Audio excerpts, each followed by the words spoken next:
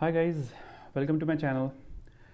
Uh, this channel we will have uh, videos that will focus only on the topic a very small one uh, and keeping it to the point and crisp.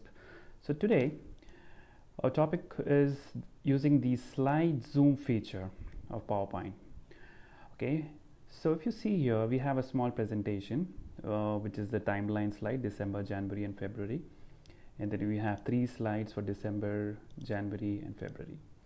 So for example, if I want to link this December slide, uh, December option here to December slide, January and February respectively.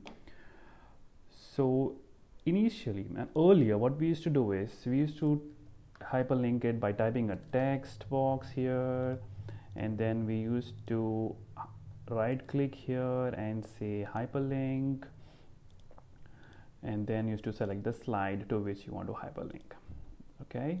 So let's see how it used to work earlier. Used to have this hyperlink here used to click on this link it used to take to this slide. Again and again we had to hit escape and come back to this slide. It was a mess. So now PowerPoint has introduced a slide zoom feature. So let me show you how it works. So you go to the main slide where you want to hyperlink so for December you want to link this slide. So just select this slide drag and drop where you want it. Okay you can always resize it also. Then January is here so drag it here. Okay and then February is here so you drag February here also okay?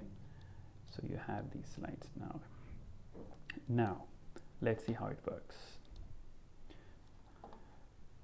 so you see all these slides here. So now you talk about December and click on this slide once. It will zoom in. It looks so beautiful. So you talk about this slide whatever you want to talk and then if you want to go back to the main slide you click on the back button here on the bottom left. You click on back it will take to this slide here. It will zoom out.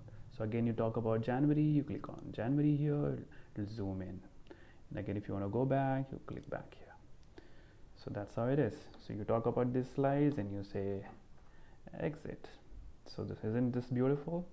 So instead of coming back and forth going to the other slide you might forget. So this gives you a clear snapshot of all the slides. So uh, without moving to the next slide you can actually cover the whole presentation. So this is really beautiful. So i hope you like the video. So click on like subscribe and share. And let me know if you have any comments. Thank you so much. Have a good day. Bye bye